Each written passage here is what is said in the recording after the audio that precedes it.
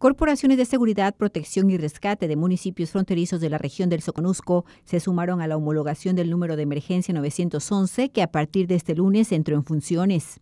A través de estos dígitos, ahora se enlazarán las llamadas de emergencias a las corporaciones correspondientes para dar respuesta inmediata a la población que así lo necesite. La homologación a un solo número, que es el 911, para hacer los diversos reportes de, de accidentes, de emergencias, ¿verdad? Y asimismo dar recurso también a, los otros tipos de, eventos o llamadas que, que, las otras nomenclaturas o numeraciones al momento de marcar la recibían. Como... A través de carteles, espectaculares, follatería y medios de comunicación, se informó con anticipación a los habitantes de la región sobre el cambio de número y la importancia de tenerlo siempre presente. Para que no, se cause, no cause confusión a la población tanta numerología o nomenclatura para hacer una llamada de emergencia, eh, llámese la que sea, este, entonces se homologa al 911. Esa llamada la recibe C4, ¿verdad? que es nuestra central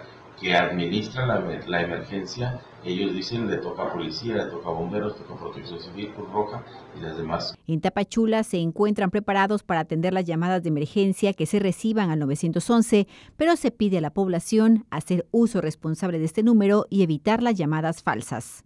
Con información de Rafael Gómez, 10 Noticias.